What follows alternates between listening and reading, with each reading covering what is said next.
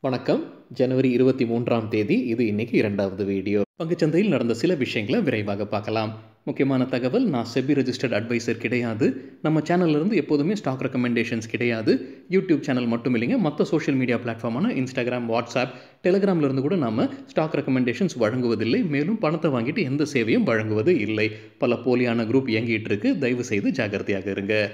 இந்த வீடியோவில் காட்டக்கூடிய அனைத்து கம்பெனிகளும் வெறும் இன்ஃபர்மேஷனல் பர்பஸ்க்காக மட்டுமே முதலீடு செய்யுங்கன்னு சொல்கிற வீடியோ கிடையாது. எந்த ஒரு முதலீட்லேயும் ரிஸ்க் இருக்கும். ரிஸ்க் புரியாமல் இன்வெஸ்ட் செய்யாதீங்க. ரிஸ்க் புரியலைன்னா தயவு செய்து இன்வெஸ்ட்மெண்ட்டை தவிர்த்துருங்க. நம்ம ருபி டிரைவர் சேனலை ஆதரிக்கிற அனைத்து நல்ல உள்ளங்களுக்கும் நன்றி. சில இண்டிவிஜுவல் ஸ்டாக்ஸ் மற்றும் செய்திகள் விரைவாக பார்க்கலாம். இந்தியா முட்டை ஏற்றுமதியில் புது சாதனை படைப்பதற்கான வாய்ப்பு இருக்குன்னு பிஸ்னஸ் ஸ்டாண்டர்டில் தகவல் சொல்லியிருக்கிறாங்க.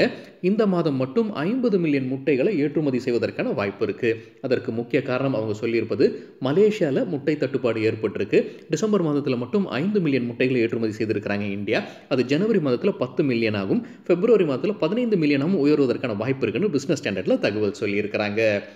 மலேசியாவுக்கு முன்னாடி ஒமான் மற்றும் கத்தர் தான் இந்தியாவிலேருந்து அதிகமாக முட்டை வாங்கிட்டு இருந்த நாடுகள். இப்போ அந்த பட்டியலில் மலேசியாவும் இடம் பிடிக்கிறாங்க. மலேசியாவுடைய அமைச்சர் அண்மையில் தமிழ்நாட்டில் இருக்கக்கூடிய நாமக்கல்ல வந்திருந்தாரு அப்படின்றதும் குறிப்பிடத்தக்கது. மேக்மானி ஆர்கானிக்ஸ் குவார்டர்லி ரிசல்ட் அறிவிச்சிருக்கிறாங்க. ரெவன்யூ ஃப்ரம் ஆப்ரேஷன்ஸ் ஐநூற்றி ஐம்பத்தி நான்கு மில்லியன் ரூபாய். இயர் ஆன் இயர் பதிமூன்று சதவீதம் விழுந்திருக்கு. நெட் ப்ராஃபிட் பதினெட்டு மில்லியன் ரூபாய். இயர் ஆன் இயர் எழுபத்தி நான்கு சதவீதம் விழுந்திருக்கு. இயர் ஆன் இயர் அப்படின்றது இந்த காட்டுடன் போன வருடம் இதே காட்டுற ஒப்பிடுவது. ஐசிஐசிஐ பேங்க்குக்கு ரிசல்ட்டுக்கு பிறகு சிஎல்எஸ்ஏ பை ரேட்டிங் கொடுத்துருக்காங்க எதிர்பார்க்குற டார்கெட் விலை ஆயிரத்தி நூற்றி எழுபத்தி ஐந்து ரூபாய் ஒரு ஷேருக்கு. அல்ட்ராடெக்கு சிஎல்எஸ்ஏ அவுட் பர்ஃபார்ம் ரேட்டிங் கொடுத்துருக்காங்க இதுவும் ரிசல்ட்டுக்கு பிறகு தான் எதிர்பார்க்குற டார்கெட் விலை ஏழாயிரத்தி எட்நூறு ரூபாய் ஒரு ஷேருக்கு. கோட்டெக் மஹிந்திரா பேங்க்குக்கு Morgan Stanley equal weight rating கொடுத்துருக்காங்க ரிசல்ட்டுக்கு பிறகு எதிர்பார்க்குற டார்கெட் பிரைஸ் இரண்டாயிரத்தி இருநூற்றி பதினைந்து ரூபாய் ஒரு ஷேருக்கு. எஸ்பிஐ லைஃபுக்கு Morgan Stanley over weight rating கொடுத்துருக்காங்க எதிர்பார்க்குற டார்கெட் ஒரு ஷேருக்கு ஆயிரத்தி எழுநூறு ரூபாய். ஐசிஐசிஐ பேங்க்குக்கு ரிசல்ட்டுக்கு பிறகு ரேட்டிங்ஸ் கொடுத்துருக்கிற சில போ ப்ரோக்கிங் கம்பெனிஸை விரைவாக பார்க்கலாம். அவங்க எதிர்பார்க்குற டார்கெட்டும் என்னன்றதையும் பார்க்கலாம். பிரபுதாஸ் லீலாதர் பை ரேட்டிங் கொடுத்துருக்காங்க எதிர்பார்க்குற டார்கெட் பிளே ஆயிரத்தி தொண்ணூறு ரூபாய் ஒரு ஷேருக்கு மோத்திலால் ஓஸ்வால் பை ரேட்டிங் கொடுத்துருக்காங்க எதிர்பார்க்குற டார்கெட் ப்ரைஸ் ஆயிரத்தி நூற்றி ஐம்பது ரூபாய் ஒரு ஷேருக்கு Morgan Stanley over weight rating கொடுத்துருக்காங்க எதிர்பார்க்குற டார்கெட் பிளே ஆயிரத்தி இருநூற்றி ஐம்பது ரூபாய். தற்போதைய லெவலிருந்து நாற்பத்தி இரண்டு சதவீதம் அதிகரிப்பதற்கான வாய்ப்பு இருக்குன்னு நினைக்கிறாங்க. ஜேபி மார்கனும் ஓவர் வெயிட் ரேட்டிங் கொடுக்குறாங்க. எதிர்பார்க்குற டார்கெட்ல ஆயிரத்தி நூற்றி ஐம்பது ரூபாய் ஒரு ஷேருக்கு சிஎல்எஸ்ஏ பை ரேட்டிங் கொடுத்துருக்காங்க எதிர்பார்க்குற டார்கெட் ப்ரைஸ் ஒரு ஷேருக்கு ஆயிரத்தி நூற்றி எழுபத்தி ஐந்து. பேர்ன்ஸ்டீன் அவுட் பர்ஃபார்ம் ரேட்டிங் கொடுத்துருக்காங்க எதிர்பார்க்குற டார்கெட் ப்ரைஸ் ஒரு ஷேருக்கு ஆயிரம் ரூபாய். ஜெஃப்ரீஸ் பை ரேட்டிங் கொடுத்துருக்காங்க அவங்க எதிர்பார்க்குற டார்கெட் ப்ரைஸ் ஐசிஐசிஐ பேங்க்குக்கு ஆயிரத்தி நூற்றி ஐம்பது ரூபாய். பிவிஆர் கம்பெனிக்கு Motilal Oswal financial services sell rating கொடுத்துருக்காங்க அவங்க எதிர்பார்க்குற டார்கெட் விலை ஒரு ஷேருக்கு ஆயிரத்தி ஐநூற்றி நாற்பது ரூபாய். தற்போதைய லெவலிருந்து ஐந்து சதவீதம் விழுவதற்கான வாய்ப்பு இருக்குது எஸ் பேங்க்குடைய மேனேஜ்மெண்ட் சிஎன்பிசி டிவிடின்னு இன்றைக்கி பேட்டி கொடுத்துருக்காங்க நமக்கு வீக்கெண்டில் செய்தி பார்த்துருந்தோம். அவங்க ரிசல்ட்டும் அறிவிச்சிருந்தாங்க. வேறொரு செய்தியும் நம்ம பார்த்துருந்தோங்க. ஹைகோர்ட் வந்து அவங்க அந்த எயிட்டி ஒன் பாண்ட்ஸு அந்த பாண்ட்ஸை எழுதி தள்ளியிருந்தாங்க. அது சரியானது இல்லை. அது தவறுன்ற மாதிரி ஆர்டர் பாஸ் பண்ணியிருந்தாங்க. ஸோ அது பேங்க்குக்கு நெகட்டிவான செய்தி அப்படின்றது நம்ம பார்த்துருந்தோம். Eighty ஒன்றது additional tier one bonds sixty three மூணு டெக்னாலஜிஸ்லாம் அந்த பாண்ட்ஸில் முதலீடு செய்திருந்தாங்க.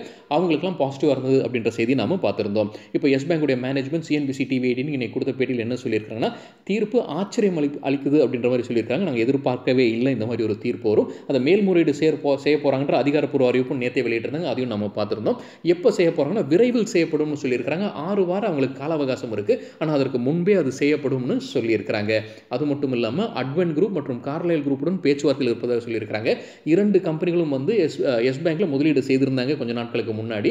மறுபடியும் மார்ச் மாதத்தில் முதலீடு வரப்போகுது ஆல்ரெடி அவங்க வேரன்ஸ் அப்ளை பண்ணியிருக்கிறாங்க. அந்த வேரன்ஸை வந்து ஷேர்ஸாக மாற்றுவது வந்து மார்ச் மாதத்தில். ஸோ முதலீடு மார்ச் மாதத்தில் வரும் அப்படின்றதான் எதிர்பார்ப்பு. ஸோ அது வராமல் போயிடுமா? அது ஒரு கேள்விக்குறியாக இருக்குமா? அப்படின்ற ஒரு பயம் இருந்தது. ஸோ அவங்களுடன் பேச்சுவார்த்தை இருப்பதாகவும் கம்பெனியுடைய மேனேஜ்மெண்ட் சொல்லியிருக்கிறாங்க இந்த விஷயம் குறித்து. அதே போல் ஸ்டேட் பேங்க் ஆஃப் இந்தியாவோடும் பேச்சுவார்த்தையில் இருப்பதாக சொல்லியிருக்கிறாங்க இந்த விஷயம் குறித்து. State bank of India Yes பேங்குக்கு சப்போர்ட் அளிப்பதாகவும் சொல்லியிருக்கிறாங்க கம்பெனியுடைய management top ten trading ideas அடுத்த மூன்றிலிருந்து நான்கு வாரத்திற்குள்ளார மணி கண்ட்ரோலில் கொடுத்துருக்காங்க அவங்க வரப்போகிற பட்ஜெட்டையும் கருத்தில் கொண்டு தான் இந்த பரிந்துரைகளை கொடுத்துருக்காங்க சில ப்ரோக்கிங் கம்பெனிஸ் ஹெச்டிஎஃப்சி செக்யூரிட்டிஸுடைய பரிந்துரைகளில் டாபர் இந்தியாவுக்கு பை ரேட்டிங் எதிர்பார்க்குற டார்கெட் விலை ஐநூற்றி தொண்ணூறு ரூபாய் ஒரு ஷேருக்கு நான்கு சதவீதம் அதிகரிப்பதற்கான வாய்ப்புகள் இருக்குது ஸ்டாப் லாஸ் ஐநூற்றி ஐம்பது.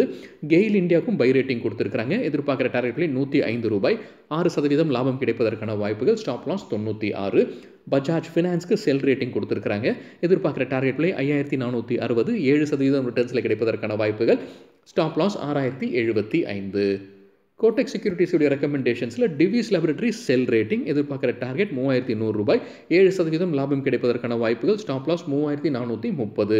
ஹெச்டிஎஃப்சி பேங்குக்கு பை ரேட்டிங் கொடுத்துருக்காங்க எதிர்பார்க்குற டார்கெட் ப்ரைஸ் ஆயிரத்தி எழுநூற்றி எழுபது ரூபாய். ஏழு சதவீதம் மேலே போகிறதுக்கான வாய்ப்புகள் ஸ்டாப் லாஸ் ஆயிரத்தி அறநூறு. எஸ்ஆர்எஃப்க்கு பை ரேட்டிங் கொடுத்துருக்காங்க டார்கெட் ப்ரைஸ் இரண்டாயிரத்தி ஐநூறு ஸ்டாப் லாஸ் இரண்டாயிரம். பத்தொன்பது சதவீதம் அதிகரிப்பதற்கான வாய்ப்பு இருக்குது ஆனந்தரத்துடைய பரிந்துரைகளில் மிண்டா கார்பரேஷனுக்கு பை ரேட்டிங் எதிர்பார்க்குற டார்கெட் ப்ரைஸ் இருநூற்றி அறுபது ரூபாய் ஒரு ஷேருக்கு ஸ்டாப் லாஸ் இருநூற்றி பதினைந்து பதினான்கு சதவீதம் ரிட்டர்ன்ஸில் கிடைப்பதற்கான வாய்ப்புகள். ஏபிஎல் அப்போலோ டியூப்ஸ்க்கு பை ரேட்டிங் கொடுத்துருக்காங்க எதிர்பார்க்குற டார்கெட் ப்ரைஸ் ஆயிரத்தி முந்நூறு ரூபாய் ஒன்பது சதவீதம் அதிகரிப்பதற்கான வாய்ப்பு உள்ளது. ஸ்டாப் லாஸ் ஆயிரத்தி நூற்றி நாற்பது.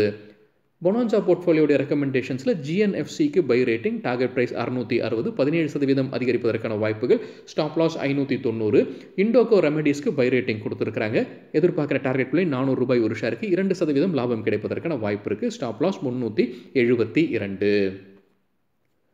ரிலையன்ஸ் இண்டஸ்ட்ரீஸ்க்கு ரிசல்ட்டுக்கு பிறகு புரோக்கிங் கம்பெனிஸ் என்ன ரேட்டிங் கொடுத்துருக்காங்க அவங்க எதிர்பார்க்குற டார்கெட் ப்ரைஸ் என்ன? விரைவாக பார்க்கலாம்.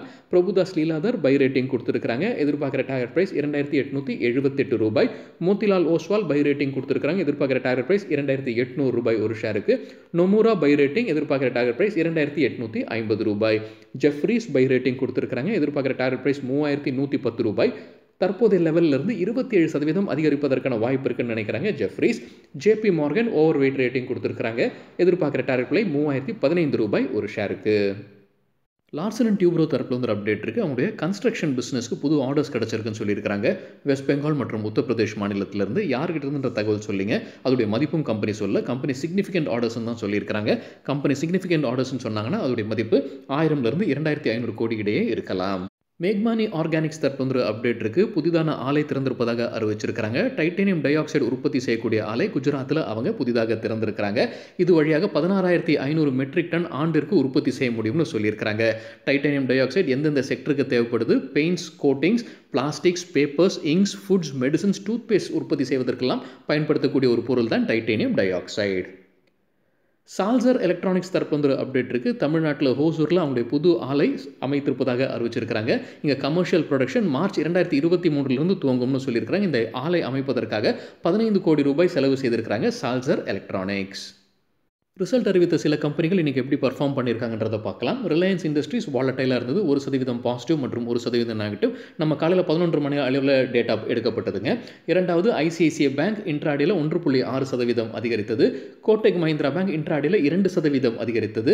அல்ட்ராடெக் சிமெண்ட் வீழ்ச்சியை பார்த்துருக்கு. இன்ட்ராடியில் மூன்று சதவீதம் விழுந்தது. ஐடிஎஃப்சி ஃபஸ்ட் பேங்க் நல்லா பர்ஃபார்ம் பண்ணியிருக்காங்க நான்கு புள்ளி இரண்டு சதவீதம் அதிகரித்தது இன்ட்ராடியில் பந்தன் பேங்க் ஐந்து புள்ளி நான்கு சதவீதம் அதிகரித்தது இன்ட்ராடியில் எஸ் பேங்க் ஒரு பெரிய வீழ்ச்சியை பார்த்து பார்த்துருக்கு பன்னெண்டு புள்ளி நான்கு சதவீதம் விழுந்திருக்கு. ஆர்பிஎல் பேங்க் வாலட்டைலாக இருந்தது. இரண்டு சதவீதம் பாசிட்டிவ் பிறகு ஒரு சதவீதம் நெகட்டிவாக ட்ரேட் ஆகிட்டு இருந்தது. பஞ்சாப் அண்ட் சிந்து பேங்க் நல்லா பர்ஃபார்ம் பண்ணியிருக்காங்க மூன்று புள்ளி இரண்டு சதவீதம் அதிகரித்தது.